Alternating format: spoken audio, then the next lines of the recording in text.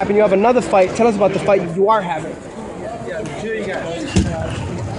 It's not serious. Not fight. Not serious. Not fight. Not business. Nothing. What would you tell your fans who want to see you get back in there and do what you do best, knocking people out?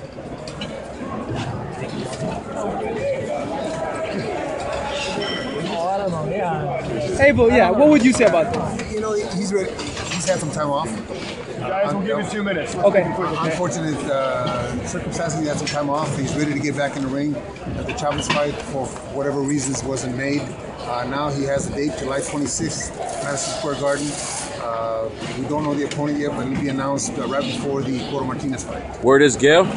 Uh, there's, there's a couple guys that are in the running. Geale is one of them. You know, a lot of fight fans were excited to uh, see you in LA, have that fight with Chavez go through. Now you'll be fighting in Madison Square Garden, like people said. Are you disappointed as well? You won't be fighting here in LA?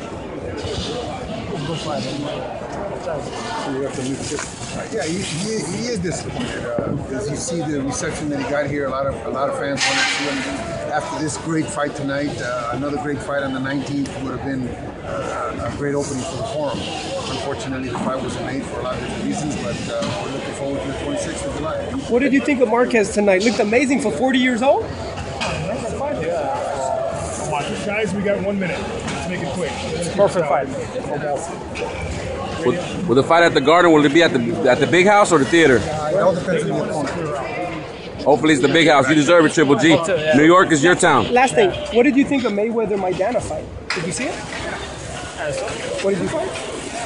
What did you think, Abel? I thought uh, Mayweather won easy. I was able to eight before. Uh, Maidana missed a lot of shots. Uh, Maidana gave him the most pressure that anybody's given him, but it really was uh, Mayweather's fight. So my last message to your fans.